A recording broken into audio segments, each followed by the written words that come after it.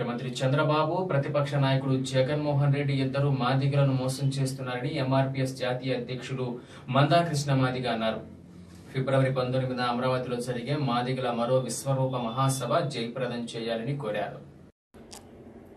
Kondepi RTC bus stand సమీపంలో జరిగిన మాదిగల విశ్వరూప సంయుక్త మహాసభలో ఎంఆర్పీఎస్ జాతీయ అధ్యక్షులు మందా కృష్ణమాదిగ మాట్లాడారు.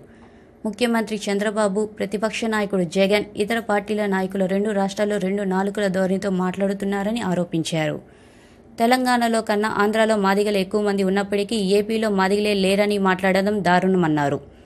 చంద్రబాబు ప్రభుత్వంలో ఎస్సీ కార్పొరేషన్లో అందరూ మాలలనే నియమించి మాదిగలకు అన్యాయం చేశారని ఆరోపించారు.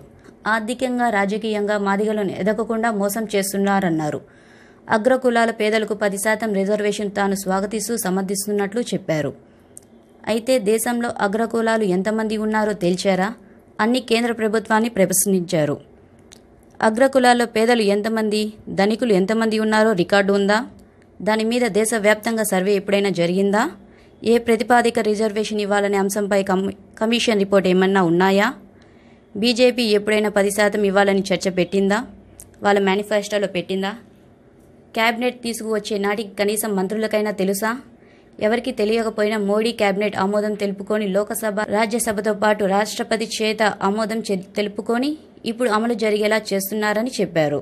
అగ్రకులాల్లో పేదలకు రిజర్వేషన్ కల్పించేందుకు ఎలాంటి సర్వే నివేదిక ఏమీ లేకున్నప్పటికీ వాళ్ళు చేయదలుచుకున్నది చేస్తున్నప్పుడు మొదటి నుండి ఎస్సీ వర్గీకరణ సంబంధించిన బీజేపీ నాయకులు ఇరవై ఐదు ఏళ్ళుగా తాము చేస్తున్న ఎస్సీ వర్గీకరణపై కేంద్రం నిర్ణయం తీసుకుపోవడం చూస్తే మాదిగల పట్ల ఎంత చిన్న చూపు వివక్ష ఉందో అర్థం చేసుకోవచ్చన్నారు. ఎంఆర్పీఎస్ జిల్లా ఇన్ఛార్జ్ శ్యామ్ మాదిగ అధ్యక్ష వహించిన సభలో రాష్ట్ర అధ్యక్షులు ఉసురుపాటి బ్రహ్మయ్య మాదిగ అల్లూరి చిరంజీవి దేవరపల్లి భిక్షాలు రాష్ట్ర జిల్లా నాయకులు మాదిగలు పాల్గొన్నారు. ఏదైనా కమిషన్ పడ్డదా? ఆ రిపోర్ట్ ఏమైనా ఉన్నదా? పోనీ బీజేపీ ఎప్పుడన్నా అగ్రకులాల పేదలకు పది శాతం రిజర్వేషన్ ఇవ్వాల్సిందని చెప్పి ఎప్పుడన్నా చర్చ పెట్టిందా? పోనీ వాళ్ళ మేనిఫెస్టో పెట్టిందా? అంతకంటే ముఖ్యంగా మొన్న ఏడో తారీఖు నాడు ప్రధానమంత్రి నరేంద్ర మోడీ గారు క్యాబినెట్ ముందుకు తీసుకొచ్చే సమయానికి అసలు క్యాబినెట్ మంత్రుల కన్నా తెలుసా? తెలియదు ఎవరికి తెలియకపోయినా క్యాబినెట్ ఆమోదం మోడీ తీసుకున్నాడు లోక్సభలో బిల్లు పాస్ చేయించుకున్నాడు రాజ్యసభలో పాస్ చేయించిండు రాష్ట్రపతి ఆమోదం తీసుకొచ్చిండు ఇప్పుడు అమలు జరుగుతున్నాయి ఇప్పుడు ఈ అంశం మీద సర్వే లేదు నివాదికలు లేవు ఏం లేకపోయినా వాళ్ళు చేయదలుచుకునే చేస్తున్నప్పుడు ఎస్సీ వర్గీకరణను మొదటి నుంచి బీజేపీ సమర్థిస్తున్నది. ఎస్సీ వర్గీకరణ మొదటి నుంచి బీజేపీ సమర్థిస్తున్నది బీజేపీలో అతిపెద్ద లీడర్ గారు బతికినారా వాజ్పేయి గారు చనిపోయిండు వాజ్పేయి తర్వాత ఎల్కే అద్వానీ కదా?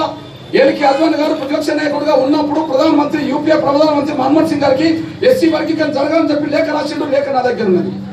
బీజేపీ జాతీయ అధ్యక్షుడుగా సీనియర్ నాయకుడు ఉన్న గడ్కర్ గారు ప్రధానమంత్రి లేఖ రాసిండు లేఖ నా దగ్గర ఉన్నది. వర్గీకరణ జరగాలని చెప్పి. నిన్నగాక మొన్న తెలంగాణలో జరిగిన ఎన్నికల్లో కూడా బీజేపీ ఎస్సీ వర్గీకరణ జరగాల్సిందే మేనిఫెస్టో పెడుతున్నది.